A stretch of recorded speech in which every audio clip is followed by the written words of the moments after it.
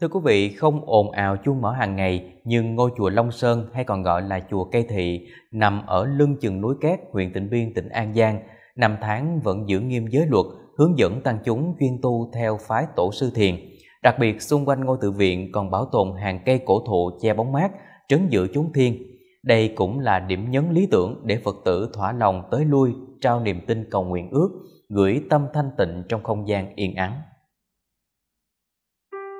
nằm lưng chừng núi két.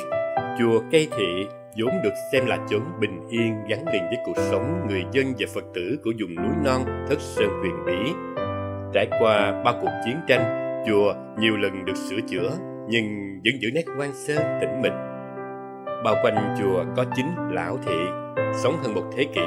che bóng mắt tạo không gian trầm lắng, tỏa hương thơm thoang thoảng, nồng nàn giữa vùng núi non, hùng vĩ cuối thế kỷ thứ 19 có hòa thượng à, thích giác tâm. Thế danh là võ văn đính. Khi à, hòa thượng à, về đây mới bắt đầu trồng một số cây thị. Thì hiện bây giờ vẫn còn khoảng 9 cây. Những cái cây thị cổ như cây thị này thì đến nay cũng đã được hơn 100 năm rồi. Chùa Cây Thị cách thị trấn Nhà bàn 1 km bên trái hướng về núi Cấm thuộc địa phận ấp núi Két, xã Thới Sơn, huyện Tịnh Biên, tỉnh An Giang. Trải qua bao biến cố lịch sử, từ năm 1930, Hòa Thượng Khai Sơn viên tịch và mãi đến năm 1990, chùa vẫn không người trụ trì mà chỉ có con cháu tộc họ giữ gìn hương khói. Sau đó, Thượng tọa Thích Huệ Ký làm vị chân tu đời thứ ba về đây tôn tạo, kế thừa theo hướng dẫn của Giáo hội Phật giáo Việt Nam tỉnh An Giang.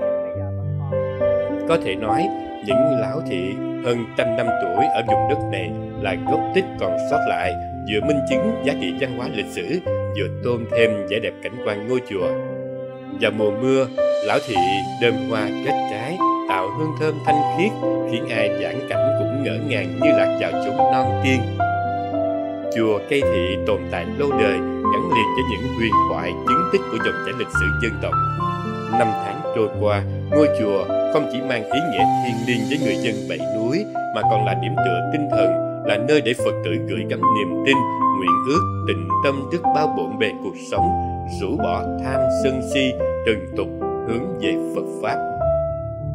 Khi mà bước chân đến cái ngôi chùa Long Sơn, người ta còn đích danh gọi là cái chùa Kê Thị, thì cảm giác rất là thanh bình à, và cái ờ, tâm mình nó rất là an lạc dạ từ cái chỗ đó mà những cái lúc rảnh rỗi hoặc là sau giờ làm việc á mình đều tranh thủ đến chùa này để ngồi à, tĩnh tâm à, thăm thiền à, lấy lại cái năng lượng à, cho những ngày mình mệt nhọc à, và à, mong muốn là mọi người ai cũng đủ duyên lành để mà đến à, tham quan cái ngôi chùa Long Sơn này cũng đi tham quan một cái phong cảnh chùa